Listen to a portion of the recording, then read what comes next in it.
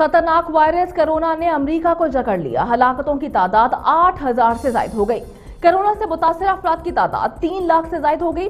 अमरीकी सदर Donald Trump का कहना है कि आने वाले दो हफ़्ते मजीद हलाकत खेस होंगे।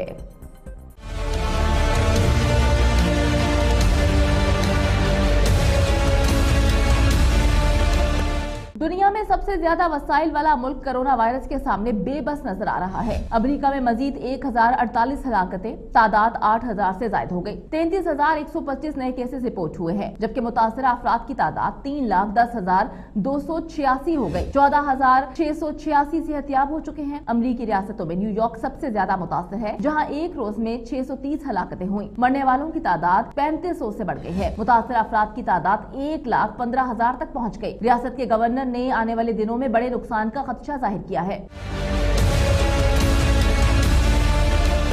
न्यूजर्सी में हलाकतें 900 के करीब पहुँच गई, मरीजों की तादाद चौंतीस हज़ार ऐसी बढ़ गई। मिशिगन मोहलिक वायरस से मुतासर होने वाली तीसरी बड़ी रियासत है। मरने वाले 500 से जायद हैं और 14000 से जायद मरीज़ हैं।